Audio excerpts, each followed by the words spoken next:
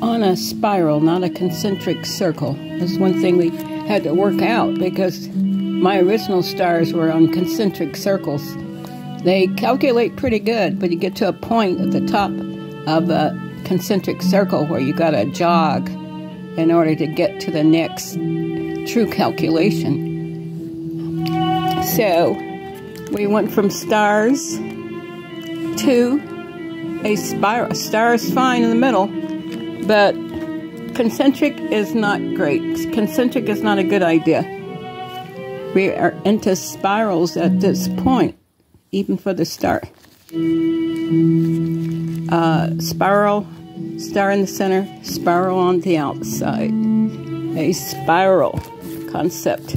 Stars are good, but spirals and stars are what we we're after a spiral because time doesn't doesn't repeat itself. Spir spiraling, whether it's three dimensional or on a two dimension, is the right geometric formation of line. Not a circle, not a concentric circle, like our year. Year in, year out, we start all over again with a concentric circle. But time Time is on a spiral. Time is on a spiral. These were original concepts. That's my lace and learn, stretch and learn. Stars are great, but that spiral, see my spiral? Stars are good.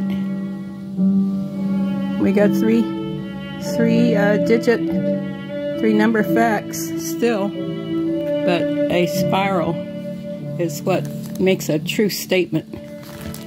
Not the concentric stars, lovely as they are, stretch and learn on a spiral. Think about it. Then we get to the, then we're going to get to the spiral and the spinner, the triangle spinner. Those are digit triangles, 10 digit triangles. Think about it. Think about it when you're talking about, when you're talking about time think spiral.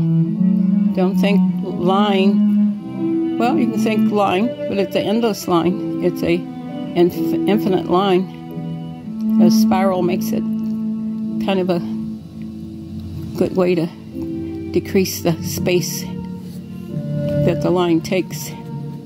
Because the line doesn't repeat itself into the future. It doesn't start all over again like a concentric circle in time.